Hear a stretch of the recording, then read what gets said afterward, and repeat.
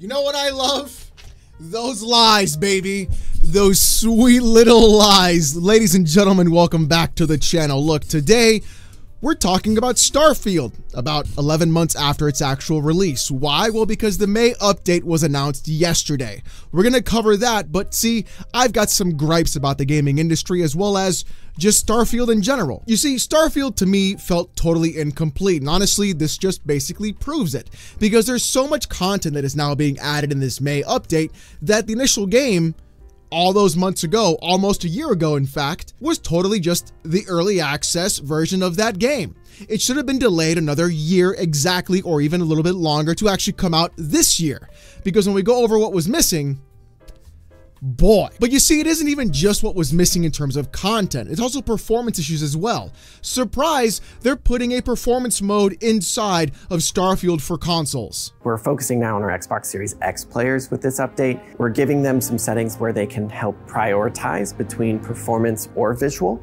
If they choose to prioritize performance, the target FPS will move to 60. And for players that have TVs that support VRR, they'll be able to choose between VRR 40 or VRR 60. I don't know why that wasn't there to begin with. In fact, this is really what I'm so angry about in this entire video. You see, this is a PC gaming channel, and I focus mostly on PC gaming. The problem is, though, Starfield's PC port was abhorrently bad. It was massively underutilized on the GPU side, and it was majorly CPU bottlenecked. And because of that, frame rates on that game were very difficult to achieve higher than 60 FPS, or even into the hundreds for that matter, even when you had really good hardware. And what really burns me the most about all of this is that Todd had the audacity and the gall to say this. I asked our audience, what would you ask Todd?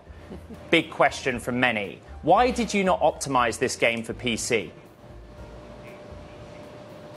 Uh, we did. It's running great. It is a next-gen PC game. We really do push the technology, so you may need to upgrade your PC for this game, but it's got a lot of great stuff going on in it, and the fans are responding awesome. That's right. Yep. It's a next-gen game. Just upgrade your PCs. Basically, what this means and tells me is that the game was completely half-baked on its initial release. It needed another 12 months in the oven, even after its delay from previous to the current time when it was released then. The idea that this game even came out in the first place is utter bullshit. $70 or 60 bucks or even anything around that price for an incomplete product that doesn't work correctly, that you are then blaming the consumer because it doesn't work correctly, telling them to spend more money to fix the problems that you created in the game because you don't want to optimize it, is not how things should be going, Todd. So yeah, let's not get me started on that. So the other issue is this. They went ahead and put a 30 FPS cap onto the console version of Starfield, when in reality it didn't need a 30 FPS cap because Todd admitted it, it hit 60 FPS at certain times. In the interview that Todd Howard had, he went on to say that fortunately, this one we've got it running great, more than simply poking fun at the releases of some of Bethesda's older games. He says that the team has managed to get Starfield running way above 30 FPS mark, sometimes as high as 60. That's probably good news for PC players, but the Starfield frame rate will still remain locked on console because we want the consistency where you're not even thinking about it. We don't ever want to sacrifice the experience that makes our games feel really, really special. No! Again, tell me lies, Todd. Tell me sweet little lies because literally in the May update video, your team was literally showing at the fact that it is running in performance mode. You can have 30 FPS, 40 FPS, and even 60 FPS on those target performances. Why this wasn't there in the first place? Who knows? But see, here's the crazier part about all of this too, is the fact that because you decided to lock that frame rate on the console version and you had a CPU bottleneck that you didn't want to go ahead and fix, it now impacted the PC version. So now everybody was impacted and your actual point of, oh, just buy new hardware was literally just the biggest lie I've ever heard in my entire life. What was that, like 18 times the detail? Yeah, this one takes it. You know what the really crazy part about all this is? Is that there were so many articles and so many quotes from Todd and even Phil Spencer about how Starfield being 30 FPS was a creative decision. Oh yes, we wanted the creative team to handle this. We wanted to make sure that the creativity of the game and the way it felt was so perfect and we didn't want to mess that up. No, it's all lies. It's all lies because you know what? The more you look into what happens in the May update, the more you realize you were sold a broken product. Major UI changes were happening in the actual update coming in May. That's right, you now have an actual proper map of all the planets you land on, proper icons, actual locations and cities that you are now part of as well. All of these things should have been there in the game from the beginning. I, don't know why it took almost a year to put these things back into the game or have them there in the first place. And the redone maps are a massive change comparatively. There's no reason why this couldn't have been there, again, from the beginning, or just delay the game to the point where it should have been ready. They made tons of readjustments in vendors and how much money they carry, changes in actual carrying capacity. All of these things make it sound like they never actually played the video game before they put the game out and they left the variables there in the way they had it from the very beginning. Or this thing was basically stuck together with duct tape and Elmer's glue which is really what I'm actually thinking happened. They even finally got to the point where they're adding actual customization inside of your ship, where you can then add furniture, create it however you want, do all this kind of fun stuff. Skyrim had that. Skyrim had that. How are we so far behind from Skyrim to now? Really? And then on top of that, in New Game Plus, you can then reset your characters, traits, stats, visuals. All of that should have been there in the beginning. I don't know why it's taken this long for this to come back out. And look, it's great that it's there, right? Happy for it. Great. Yay. But this is a bigger problem that happens in the gaming industry over and over again. I don't know why we're constantly sitting here and applauding these developers for making a video game that should have been that way since the day it launched a year later to then give them the full price of that game and then wait for updates on that end. That doesn't make any sense to me. I mean, it got to the point now where they're actually adding vehicles into Starfield. You know, the thing they should have had from the beginning because the maps are far too large and the icons are too spaced apart from actual points of interest. The game was fundamentally incomplete when it launched. And sadly, that's how it turned out. You know what's even crazier is that 11 months later, now is when they're actually deciding to properly give out mod tools in the creation kit to specified content creators who make mods for Elder Scrolls games. They're being very specific about that and they don't want to have any more details. All of this stuff should have been there from day one. The tools and the mod kits should have been out for those creators and everybody that works on anything in terms of the Nexus. Like that's that's ah, it just it just boggles my mind. Your games live and die via the mods. How can you sit there and do all of these things to basically brick your game from the very beginning in terms of performance, in terms of UI, in terms of just maps, in terms of content, and then turn around and want to be celebrated at 11 months later? Yes, I'm going to admit this is a good update, and finally, maybe I'll get back into playing Starfield. However, though, this should have been there from the very beginning. We are in an industry unlike any other where you will give someone 60 to 70 complete dollars and then get an incomplete package to when a year later, that's when the game is going to finally be done. If game companies, publishers, developers, console makers are trying to figure out why the gaming industry doesn't have enough sales, or people aren't buying games anymore, or people are playing older games from six years ago still to this day, it's because of that. It's because you always promise far more than you can actually deliver. And Todd is the king of that. Look, I'm not going to sit here and be a drag about the entire thing. I really feel like Starfield does deserve a second chance. I feel the same way about No Man's Sky because they went ahead and did what they had to do. They put their head down and put out the updates that needed to be done. But that game is a one in a million shot. Not every game can be a No Man's Sky comeback story like everybody wants it to be, like every publisher wants it to be. It's as if they've gone ahead and they've done everything they can to brick any possibility of having a positive outcome for this game.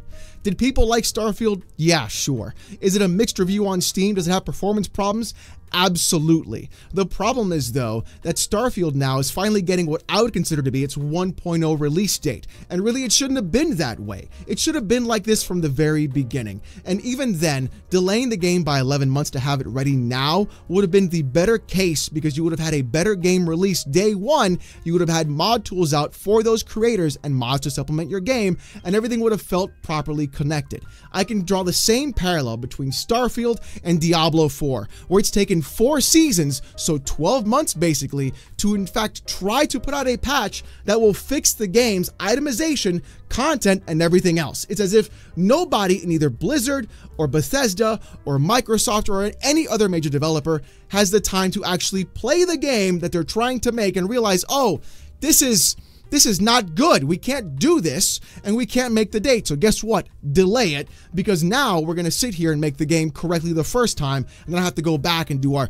sorry campfire apologies, sit around in a bunch of couches together and talk about, oh, it's been so hard on us and it's so difficult for us, the developers. Nobody cares about you and your feelings. What people care about is I gave you the money for the product. You're supposed to give me a full, complete product. I mean, the fact that Starfield needed to have UI updates and map updates just proves to me that nobody played that game. It just goes to show that they put something in there as placeholder and said, you know what's good enough, ship it out, just get it out the door because honestly, this thing's going to go no matter what. We got the Bethesda name on it. But what's happening is now that every single time you have the Bethesda name, everybody's going to say, well, the last game you got was super buggy. I don't want to buy this one this time because now I had to wait a year in order to actually get the complete game at a 1.0 launch. So I'll just wait a year now. Everybody's sick and tired of this. The gaming industry is sick and tired of this. Consumers are sick and tired of this. Look, I know I've been really angry this entire time about this whole thing. And yes, I'm going to admit this update does look great. And maybe it'll get me back into playing Starfield because honestly, that game does deserve a second chance. And these updates could really breathe new life back into that game. However, though, as a massive Elder Scrolls fan, where my favorite game, of course, from them is Morrowind, back in the 2000s, putting in as many hours as I possibly could into that game when the fact that Steam didn't even exist yet and you got your PC games in a giant box and then you had like multiple discs to install your game and the only way you turned your PC on was with your big toe and your foot. That's what I'm talking about, right? Like those games came complete at least back then. And I know Morrowind is still a bunch of stuff going on and it's kind of like hobbled together. But the thing is the game actually worked out of the box when you got it. Why can't we just do what's supposed to be done and properly put the game out when we're doing it? If the scope is too large, then you need to tone the scope down. But putting out games and titles and products that have your name on them that are 100% incomplete as basically an early access game is ridiculous. The fact that Baldur's Gate went through early access and it still had problems even through all the years of development, but it goes to show that if you do it right, people will support you. Honestly, Starfield should have been an early access from what it looks like, because this makes no sense in this kind of patch update. I'm honestly incredibly tired of Todd's lies, and really, it happens every single time a Bethesda game comes out. And it just goes to show that everybody else is tired of this too. Because even though people are celebrating the fact that this patch is finally happening, that hey, the game is finally going to actually release to its 1.0 status, it shouldn't have taken 11 months to do so. I really hope that Starfield can get the second breath of life that it truly needs and actually could deserve, because honestly, there is a good game buried under a lot of really horrible decisions surrounded in that game, and it's really tough to push away all of the shit covering that possible diamond. But until Bethesda and other game publishers and developers figure that out, we're going to keep seeing the same garbage happen over and over again. And honestly, I myself and others are actually tired of it seeing the lies, seeing the actual money being taken, getting an incomplete product, and then waiting 11 months or longer to have the game finally release shouldn't be happening in this day and age. But it is. And honestly, I think it's time we put our money where our mouth is. Bring back the old adage, baby. In this house, we do not pre order. And honestly, I really hope the patch turns out well for Starfield, but God, it is incredibly disappointing to see that it took 11 months for the game to finally hit its actual release. Ladies and gentlemen, let me know what you guys think about this in the comments section down below. Are you excited for the new Starfield patch? Are you going to be playing it when it comes out? Just a reminder, the beta for that patch is on PC and Steam already. You can sign up for it by going into properties, going to beta, and then accessing that beta there, and then downloading it on top of that. You may see some performance changes though, because I think they're going to be making changes in terms of like how that beta actually performs on PC. So give it a shot. Hopefully your CPU bottlenecks will be fixed. I will be doing an updated video for that port review on Starfield once that patch comes out officially, so hopefully we get some good stuff there. But if you want to see more of this kind of content, more PC port reviews, gaming news, Steam Deck videos, as well as fanboy content, subscribe to the channel. We are breaking 69,000 subs Nice. So thank you guys so very much for that. But if you want to support the channel even further, you can show up to the live streams at 8:45 p.m. Eastern on Saturdays. And if you want to have access to emotes during those live streams or Discord access, you can become a YouTube member. It's as low as a dollar. And if you don't want to spend the buck, don't sweat it. Just come on down to the live stream, have a great time, and you're going to see a real show. Trust me. Chat basically controls the entire thing for about four and a half to five hours. It's a nightmare. But with all that being said, y'all, thank you guys so much for watching. Hope you have a great one, and I'll see you next time.